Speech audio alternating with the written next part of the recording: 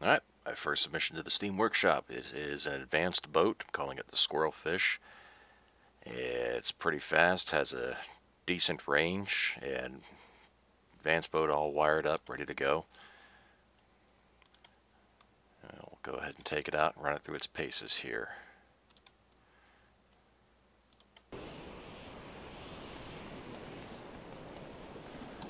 Let's turn some daylight back on here. We'll get back to that nasty weather in a minute. Alright, now you have ladders here. Grab onto those. You have handholds in case you need to use those to help get up if the weather's really bad. Pop that, drop in, turn it off. Now this boat will make you a bit seasick. It does bob and weave all over the darn place, which is part of the fun of it. Alright, when you first come in here, right behind this wall is the motor and all the guts that make this thing work. You have a primary fuel tank, a large tank. You have two medium-sized tanks here, port and starboard. They have valves are by default closed. Those buttons run them right there. Here are their gauges. Back there you have the engine RPM gauge. You can't really spot it from here anymore, but you still read it. And over here you have the temperature gauge for the engine. The revs are not stock on the motor. They will go a little bit high, but I believe I've got it set to where you can't really blow it up unless you try really, really hard. I haven't been able to yet. Alright, here we have a flood gauge, shows the amount of water that's inside the boat at the time for bilge pump purposes. There's your dome light. You have seats uh, for six passengers and one pilot. You have eight deep diving gear setups here. You switch those out with something else if you want. The other ones are behind the seats. Alright, go into the pilot seat here to start. Turn the key, hit the button, turn the key off. Alright, now the throttle is minimum to this setting here so the uh, motor doesn't cut out on you. Clutch starts out at zero. Alright, we have a compass. We have the primary fuel tank here have the speed in knots converted accurately. The light switch here turns on the mast, the underwater light there, and this dome light in here. Nice red light, looks good in the dark. Over here you have your bilge pump and a flood warning which will flash like mad at you if you're taken on water. Over here you have the reverse gear light. It'll flash at you to remind you that you're in reverse so that you don't end up stalling out your motor. Alright, port battery, starboard battery. Alright, now, the hotkeys. Uh, 1 and 2 are your throttle, down and up. 3 and 4 are your clutch, up and down. It's set up that way specifically so that you can hit 1 and 2 to go forward. At the same time, pretty much get you going. A and D for left and right steering. Off we go.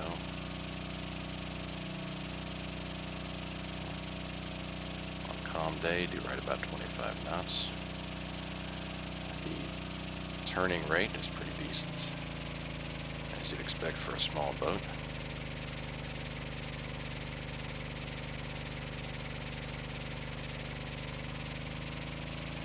Now, reverse gear. 5 activates the gear, so turn the clutch down a bit, hit 5, and turn the clutch back up. Same thing for reverse, and there you go. I'll be done with the hotkeys. Alright, number 6 is a spotlight, which is controlled by the arrow keys. Angle that down a little bit. It's good for illuminating obstructions in the water there. Anything that's even beneath the surface should be able to catch it. Got your full 180 degrees. Up and down, good to go. Alright, so let's turn that bad boy off. Alright, now, demonstration of these fuel gauges here. Uh,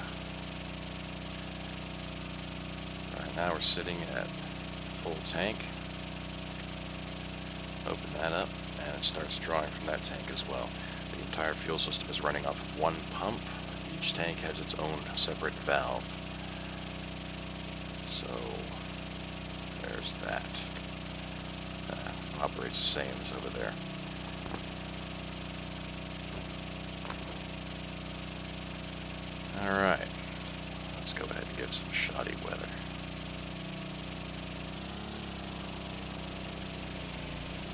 Now, going into the waves.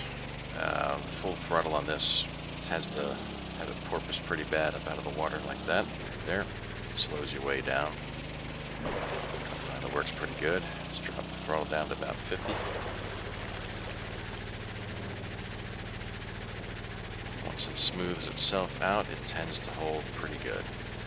It doesn't deviate from course too much either if you get it nose in. Now, our purpose here is to uh, demonstrate the fuel pump here, or see the bilge pump, so we'll go ahead and open up that hatch, get some moisture in here. Get a little bit seasick in the meantime.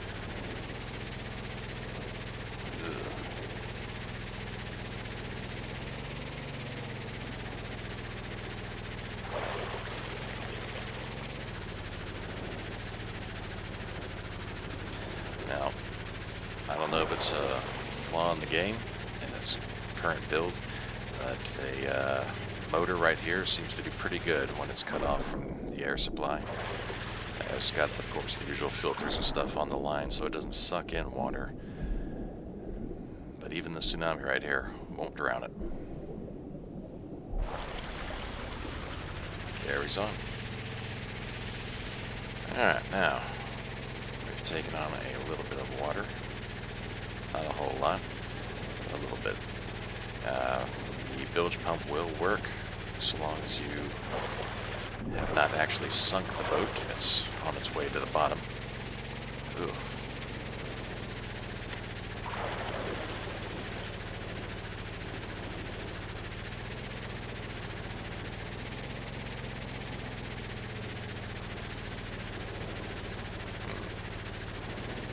I don't know if it can outpace that hatch. Let's go shut that down there. There we go. Yeah.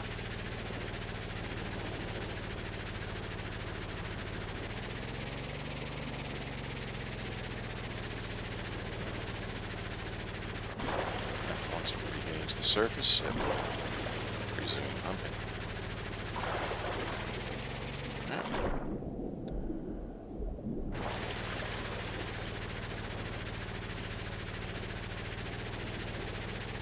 I do believe covers it.